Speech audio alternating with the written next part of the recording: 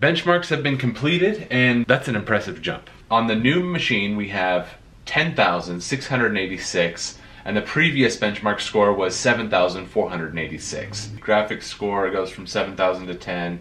Graphics test 1 we're getting from 45 frames per second to 71, 41 frames per second to 60 and our CPU test is the same because it's the same CPU. And then if we scroll down to our graphics card, you can see our differences here.